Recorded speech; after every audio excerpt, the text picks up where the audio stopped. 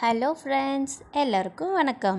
இன்றைக்கி நம்ம வீடியோவில் ரொம்ப ரொம்ப ஸ்பெஷலான ரொம்ப ஈஸியான சீக்கிரமாக செய்யக்கூடிய சிம்பிளான ஒரு தக்காளி சட்னி ரெசிபி தான் பார்க்க போகிறோம் இது நீங்கள் செய்கிறதுக்கு ஒரு டூ மினிட்ஸ் தான் ஆகும். வாங்க இது எப்படி செய்யலான்னு பார்க்கலாம். அதுக்கு முன்னாடி மறக்காமல் என் சேனலில் கீழே இருக்க ரெட் கலர் பட்டன் அழுத்தி சப்ஸ்கிரைப் பண்ணிக்கோங்க. இதுக்கு தேவையான பொருட்கள் தக்காளி வெங்காயம் ரெண்டும் சம அளவு எடுத்துக்கொள்ளுங்க தேவையான அளவு உப்பு தேவையான அளவு மிளகாய்த்தூள் ஒரு டீஸ்பூன் சீரகம். இப்போது இதை ஒரு பேஸ்ட்டாக அரைச்சிக்கலாம். பாருங்கள் நம்ம எதையுமே வணக்க தேவையில்லை. டைரெக்டாக பச்சையாகவே அப்படியே போட்டு நம்ம பேஸ்ட்டாக பண்ணிக்கலாம். தக்காளி வெங்காயம் உப்பு சீரகம் இது கூடவே நமக்கு தேவையான அளவு மிளகாய்த்தூள். போட்டு ஒரு ஃபைன் பேஸ்ட்டாக அரைச்சிக்கலாம். பாருங்கள் தண்ணி விடாமல் இந்த மாதிரி அரைச்சி எடுத்துக்கோங்க. இப்போது இதை நம்ம தாளிச்சிக்கலாம். ஒரு பேன் சூடு பண்ணிக்கோங்க. அதில் எண்ணெய் சூடானதும் நம்ம அதில் கடுகு ஆட் பண்ணிக்கலாம்.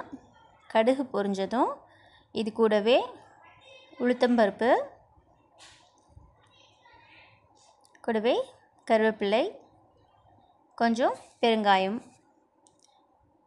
போட்டு நல்லா நம்ம இதை வதக்கி விட்டுக்கலாம்.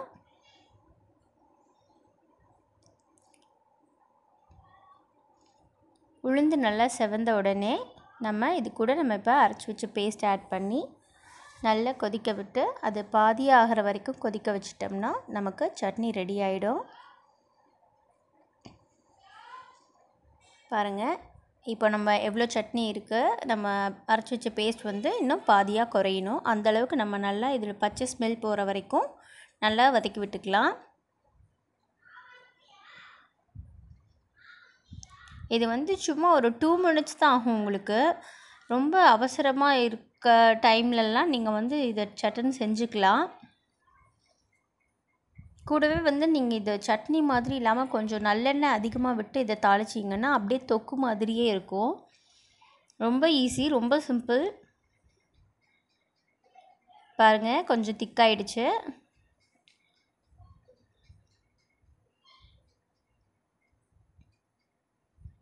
இப்போ இந்த ஸ்டேஜில் கொஞ்சமாக வெள்ளம் ஆட் பண்ணுறதுனா பண்ணிக்கலாம். நான் பண்ணியிருக்கேன். உங்களுக்கு விருப்பம்னா ஆட் பண்ணிக்கலாம் இல்லைன்னா விட்டுடலாம் அவ்வளோதான் நம்ம சட்னி வந்து திக்கான கன்சிஸ்டன்சிக்கு வந்துடுச்சு சட்னி ரெடி பாருங்கள் ரொம்ப ரொம்ப சுவையான தக்காளி சட்னி தக்காளி தொக்கு ரெடி இந்த ரெசிப்பியை மறக்காமல் நீங்களும் ட்ரை பண்ணுங்கள் ட்ரை பண்ணி பார்த்துட்டு உங்களுக்கு இந்த ரெசிபி பிடிச்சிருந்துச்சுன்னா மறக்காமல் என் சேனலுக்கு சப்ஸ்கிரைப் பண்ணுங்கள் லைக் பண்ணுங்கள் கமெண்ட் பண்ணுங்கள் தேங்க்யூ